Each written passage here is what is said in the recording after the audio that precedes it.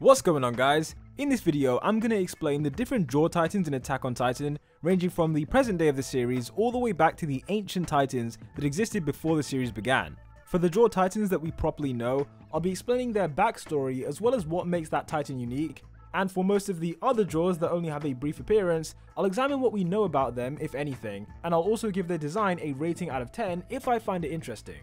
It goes without saying that every Jaw Titan has at least a few things in common regardless of how different their designs may be. For example, they each have an amazing crushing strength, which was best displayed when Porco was forced to destroy the Warhammer Titan's crystal. Additionally, they all have claws that can slice through pretty much anything, and their small size allows them to be more acrobatic and sneaky when compared to the other Titans. Before we get into it, don't forget to sub to the channel for more Attack on Titan videos like this, and if you're an anime only viewer, then later in this video there will be spoilers, but I'll give a big warning before we get to that.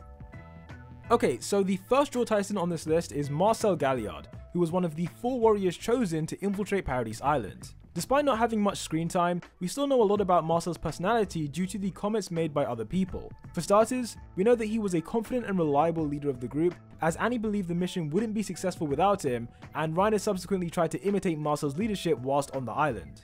Marcel was perhaps the physically strongest of his age group, as he came first place in this endurance race, with Porco also singling out Marcel for his strength. We saw in the anime how Marcel was protective over his younger brother, even going as far as to influence Marley to give Reiner the Armored Titan instead of Porco. He presumably did this to, you know, let his little brother have a long life, which is similar to Falco's desire to protect Gabi from inheriting the Titan as well. Marcel's Jaw Titan had a good design, with bulletproof hardened skin covering his entire face, a prominent set of teeth, hardened claws, and a goatee that 12 year old Marcel never had in normal circumstances. We saw this titan in a flashback during Marley's invasion of another country, but sadly he was eaten not too long after that. Moving on, Ymir was the first Jaw Titan that we actually saw in this series, and she undeniably had one of the worst lives of any character. In the beginning, she was a nameless orphan living on the streets of Marley, before she was picked up by this cult leader who gave her a name. He decided to call her Ymir because Ymir Fritz was the name of the original founding titan, who is a respected historical figure in the eyes of many Eldian restorationists. The man was able to grow his cult by pretending that Ymir had royal blood, and people in this cult began to worship her almost like a god. This was probably the most carefree period of Ymir's life, as she was well fed and was making other people happy just by existing. I'd say the happiest person though was the cult leader, as he was amassing a ton of wealth based off this scam. Things eventually fell apart when the cult was busted by Marleyan authorities, with all members being sent to Paradise Island. When the cult was discovered, she tried to play the role of Ymir in the hope that it would save everyone's life, but it was to no effect as they were all turned into pure titans. For 60 years, Ymir would wander Paradise Island as a mindless monster until one morning she happened to encounter the warriors of Marley. She initially tried to eat Reiner, but Marcel pushed him out of the way and was eaten by Ymir instead. By consuming the spine of a Titan shifter, Ymir regained her humanity and became the new Jaw Titan in the process. Unlike her predecessor, Ymir had no hardened skin covering her face, and her claws were of a significantly smaller size. Her body proportions were also quite strange, and the teeth specifically, they were not even close to the size of Marcel. That said, Ymir's Titan still displayed some great agility throughout the series, swinging from Titan to Titan in its first appearance, and then later swinging from tree to tree like some kind of monkey. Ymir's Jaw Titan is also capable of speech, which is, you know, that's not a trait that we've seen from other Jaw Titans in the series, so she was definitely special in her own way. The third Jaw Titan on this list is Porco Galliard, who as we already established is the younger brother of Marcel. Porco inherited this titan after Ymir willingly let herself be taken back to Marley, and when we were first introduced to the character, he gets straight into the action by protecting Gabi and Falco from enemy fire. On the battlefield, he's shown to often be a useful asset for Marley, such as when he saved Reiner from being killed, or when he snuck up on Eren from behind and nearly stole the Founding Titan. On the other hand, he can also be a hothead and blinded by rage, which results in him making short-term and rash decisions that negatively affect the people around him. Porco's Jaw Titan is very similar to his brothers in terms of its design, however they are not completely identical. Unlike Marcel, Porco's Jaw Titan technically has two sets of teeth, the first is the sharp set on the inside of his mouth, and the second is the hardened skin on the outside that fits together like puzzle pieces. This differs from Marcel, as we can see that he has no jagged teeth on the inside of his mouth, but his exterior teeth are significantly sharper than what Porco's are. With that said, the rest of this video will contain really heavy spoilers regarding the Jaw Titan, so as of posting this video, if you're an anime only watcher, then you definitely need to pause right now. Once the final season of Attack on Titan is over, then I encourage you to come back to this video and finish it, but uh, until then, don't continue watching.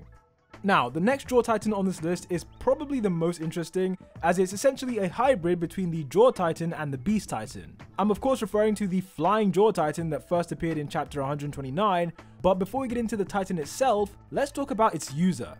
Falco was introduced as a warrior candidate from Marley and is a member of the Grice family. His uncle was one of the leading members of the Eldian Restorationists alongside Eren's father, and his older brother Colt was the designated successor to inherit the Beast Titan.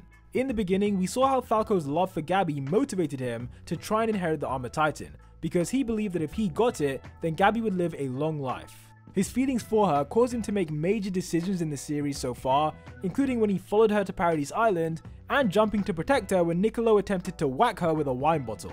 The decision to protect Gabi in that moment is what inadvertently led to Falco inheriting his Flying Titan, as the wine bottle he was struck with contained Zeke's spinal fluid. Without Zeke's spinal fluid entering his mouth, Falco never would have become what he became. So let's get into what makes his Titan so special. To start with, Falco's Jaw Titan possesses two sets of teeth, with the inner mouth looking like a regular Titan, and the outer jaw being a hardened set of jagged teeth. When he closes this outer jaw, you'll notice that he literally looks like he has a beak, which is because the spinal fluid gave Falco's Titan more animalistic features. Both his arms are covered in thick fur, which is obviously reminiscent of Zeke's Beast Titan, and his hands are genuinely just bird claws. These claws were strong enough to crumble the roof of a building on its first appearance, and later in the manga we see that Falco's Titan has evolved even further. These memories of a previous Flying Beast Titan are what made Falco realize that he has the potential to do this himself. When we finally saw him flying, he sprouted a full set of wings with an enormous wingspan. In chapter 136, Falco performs a maneuver in the air where he speeds up to avoid incoming arrows, which I thought was an incredible maneuver because this is his first day using the Flying Titan and he's already able to do tricks like this. I guess Marley's warrior training literally prepares you for anything. Considering all factors, this might just be the most useful Jaw Titan ever, as he can do everything that a regular Jaw Titan can do with the extra benefit of being able to fly through the air. If Falco has a successor in the future, do you guys think that they will also inherit these Beast Titan characteristics? Or is it like Falco had the spinal fluid so it's only reserved for him, but the next person will not have the Beast Titan? It's kind of confusing how this works, but let me know your thoughts on it in the comments down below.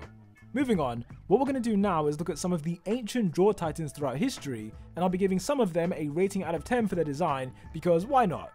Back in chapter 122, we saw what was possibly the first Jaw Titan to ever exist, and I say that because when you look at the whole context of the chapter, it would make total sense for this to be the first one. Its most notable aspect was the fact that its head was just a skull, which is a feature it seemingly inherited from the original founding titan. This Jaw Titan made another appearance in chapter 137, and I imagine its hollow eyes will make it pretty frightening when this eventually gets animated. Based on its design, I'm going to give this Jaw Titan a solid 7 out of 10. The next Titan is another one of these ancient shifters, and it has hardened skin covering its face, similar to Porco and Marcel. It has a set of normally shaped teeth inside its mouth, and even though its hands don't have sharp claws, it was still able to slice through the body of the cart titan in one swoop. Around the eye area, it has a unique design with two rectangular sockets, which makes me feel like this was a helmet that was specially designed by Ymir. Whatever the case, this design gets a nearly perfect 9 out of 10 rating from me. In the same chapter, a different Jaw Titan was revealed that I think looks kinda similar to Falco.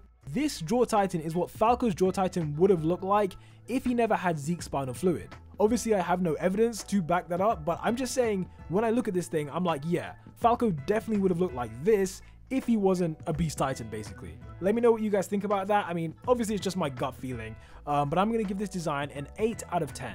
Over here we had another interesting Jaw Titan, and I wish we'd seen it more up close because this hardened face is pretty unique. The shape is just so weird that I'm kind of wondering how exactly does it open and close, but I assume that we maybe will get to see that when this is animated. Also, as a random side note, this Jaw Titan right next to it is a strong contender for one of the ugliest Titan shifters I have ever seen. Honestly, I kind of feel bad for Mappa having to one day bring this arc to life because there's just a million titans all fighting at once. It's going to be so hard. The final Jaw Titan that I thought was worth talking about is this interesting creature, and I initially was conflicted about whether this was a Jaw Titan or a Cart Titan or a Beast Titan, but after a discussion with my boy Oceans, we agreed that its jaw seemed to be its defining feature, and therefore it is likely a Jaw Titan. I'll give this design a 7 out of 10 because the shape of its jaw is unlike anything we've seen before and it kind of makes me wonder does it have better biting power than the other Jaw Titans? Before I go, I gotta say my favorite Jaw Titan is probably Falco's, although this guy comes in at a close second place. As always, be sure to drop a like as it does help out the video and the channel, and hit that sub button if you haven't already. Until the next one, peace out.